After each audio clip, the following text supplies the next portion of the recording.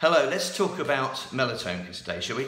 Now, what's melatonin? If you go to your doctor and say, um, can you prescribe me some melatonin? He'll say, oh, it's a sleeping drug, but I've got far better drugs than that.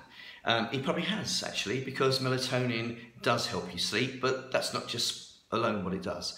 Melatonin is produced by the pineal gland um, underneath your brain about 45 minutes after you go to sleep and it knocks you into a deeper sleep. It does this in part because it sends a message to your gut bacteria and they have circadian rhythms too, and a lot of those produce melatonin, so suddenly the whole effect is amplified. Now, melatonin has a number of benefits. For example, it's actually the biggest antioxidant we make as animals.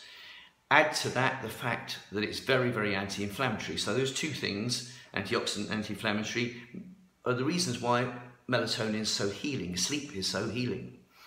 On top of that, it actually regulates your estrogen levels in men and women um, from your fat stores, for example, and it regulates growth hormone. Well, both those, estrogen and growth hormone, can play a role in cancer.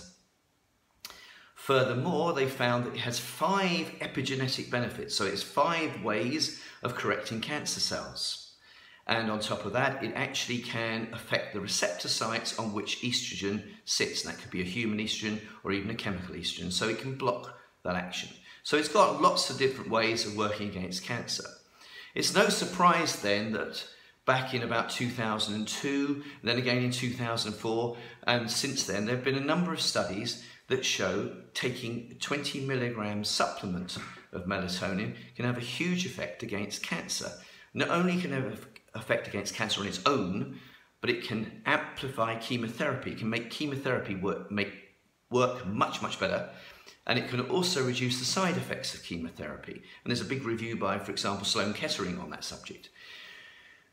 More than that, more than that, the figure is 20 milligrams. And historically, I was always told that you shouldn't take more than about three milligrams. Why? Because at 10 milligrams you can start to hallucinate. Well, this is what the experts told me. Now, I've talked to a number of people who take 20 milligrams and they've said it's rubbish. We've never noticed that at all. So, what I suggest is that you can go straight to 20 milligrams, but if you want to, you can actually play safe take three milligrams for a few days, go up to six, take it for three days, go up to nine, go for three days, go up to 12, and so on. Just keep going up in three milligram doses. And if you do find you're dreaming vividly, then stop and come back down one. That's probably the safe way of going. But 20 milligrams is where all the research is done, and so that's, that's up to you. In America, you can buy it anywhere um, in supermarkets and so on. In Thailand, I can buy it in the local pharmacy. In Britain, you, you're part of Europe, and in Europe, it has to be given to you on prescription. That is, unless you go into the Casino in San Rafael, where I went one day, and it's clearly on sale there.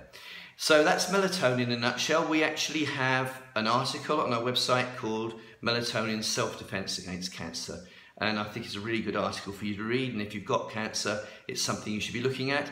Melatonin also plays a part in prevention. For example, women who are long haul air hostesses, men who have disturbed sleep as well, who do night shift work, anybody who has disturbed sleep, far more chance of getting breast cancer or prostate cancer. And a small melatonin supplement can help in that instance. So that's melatonin. As I said, look at the link below. It's uh, it'll take you to melatonin self-defense against cancer. I suggest you read it. All right, see you soon.